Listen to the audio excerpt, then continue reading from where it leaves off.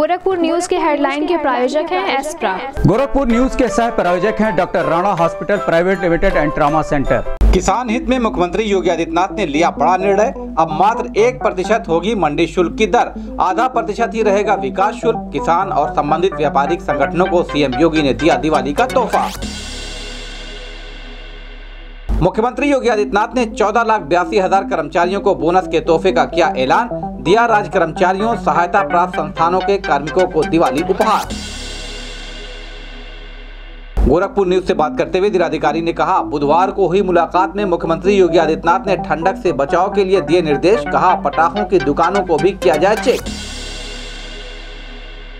दो दिवसीय दौरे पर बुधवार को अपने गृह जनपद गोरखपुर पहुँचे प्रदेश के मुख्यमंत्री योगी आदित्यनाथ। गुरुवार को अपराह्न तीन बजे के बाद लखनऊ हुए रवाना। सिटी मजिस्ट्रेट के नेतृत्व में बुधवार को ओसामा एंड कंपनी के पटाखा दुकान पर की गई छापेमारी। लाखों रुपए का बरामद हुआ अवैध पटाखा। किया गया जब्त, सिटी मजिस्ट्रेट ने कहा, मुकदमा पंजीकृत कर की जा रही विधिक कार्रवाई।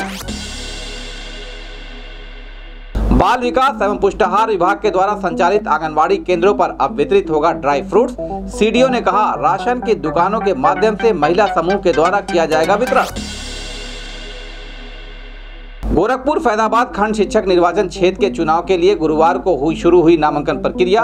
चार प्रत्याशियों ने खरीदा पर्चा। एक दिसंबर को मतदान व तीन को होगी मतगणना। मुख्य विकास अधिकारी की अध्यक्षता में संपन्न हुई परफॉर्मेंस ग्रांट के तहत चयनित गाँवों के प्रधानों की बैठक। चयनित गाँवों को मॉडल गाँव के रूप में विकसित करने के दिए निर्देश। मोबाइल फ़ोन पर प्राप्त शिकायत पर शिकायतकर्ता संघ खास सुरक्षा अधिकारी प्रतिमा त्रिपाठी ने चकिया स्थित गुरु नानक ढाबा पर मारा छापा। कमियाँ पाए जाने पर ढाबा मालिक को दी कड़ी चेतावनी, कहा, दिए गए निर्देशों का करे पालन नहीं तो होगी विधिक कार्रवाई। यातायात माह के तहत एसपी ट्रैफ़िक आशुतोष शुक्ला के नेतृत्व में काले ऑटो पर की गई बड़ी कार्रवाई। दर्जनों ऑटो का किया चालान, कहा, शहर के अंदर काले ऑटो का प्रवेश है वर्जित। गोरखपुर में बृहस्पतिवार को मिले 45 नए कोरोना संक्रमित मरीज़ तीन की हुई मौत। ज़िले में संक्रमित मरीजों की संख्या हुई 19,200 अब तक 309 कोरोना संक्रमित मरीज़ गंवा चुके हैं अपनी जान। 561 हुए एक्टिव मरीज़ सीएमओ डॉक्टर श्रीकांत तिवारी ने की पुष्टि। महानगर में 10 केंद्रों पर दो पालियों में सकुशल संपन्न हुई डीएलएड द्वितीय सेमेस्टर की परीक्षा। सुचिता का रखा गया पूरा ध्यान। और गोरखपुर विश्वविद्यालय में स्नातक एवं प्रास्नातक की प्रवेश प्रक्रिया हुई शुरू। काउंसलिंग में समस्त प्रमाण पत्र लेकर पहुँच रहे छात्र छात्राएँ विश्वविद्यालय परिसर में परिजनों का प्रवेश है वर्जित